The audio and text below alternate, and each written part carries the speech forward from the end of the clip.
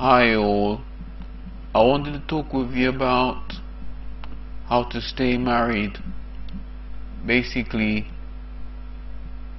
I'm I'm also just I'm basically just giving you giving you giving you advice from what from what I've heard from and a, and a little bit of mine from what one of them is what from what I heard from from a married couple a Christian married couple you might say to me you know I don't want to hear anything from Christians.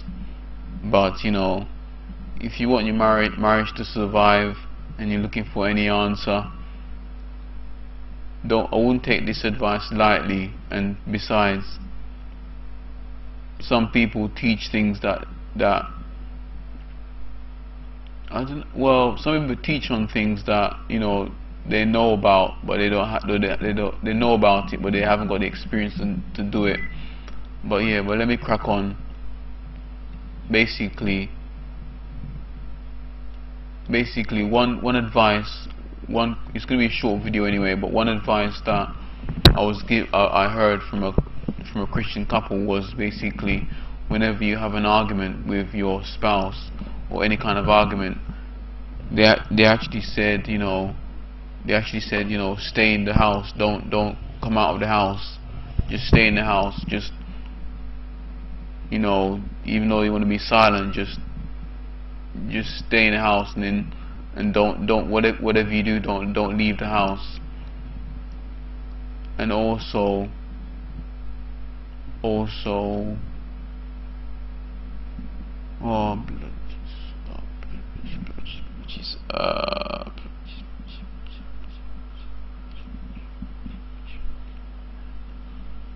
also yeah I had to pause there because I slipped my mind what to, what, of what to say next basically a friend of mine asks you know because he, he said he, he said he's married and he said he keeps he keeps looking at looking at or staring at ladies uh, that are on the streets and keep looking at them, you know, like lustfully, even though he's married. But the, the you know, this is mainly for a guy, but it can easily be for anyone that's courting or not single. Sorry, it's going to be going to be in a relationship.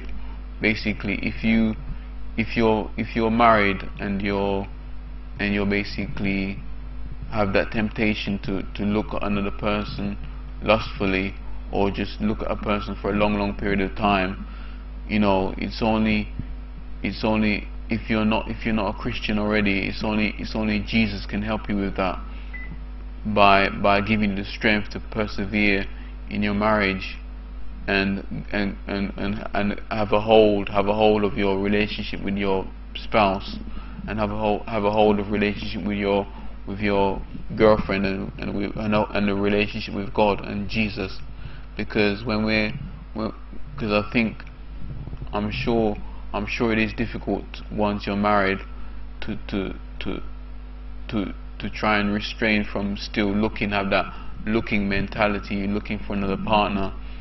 You know I'm sure the the men struggle struggle struggle with this more than the women but it might it might not not necessarily be the truth. So this is all I have to say for this video. So I hope this is this has helped you. So that's all I have to say for this yeah I'll, so that's all for now. So God bless. Take care and peace be with you. Bye for now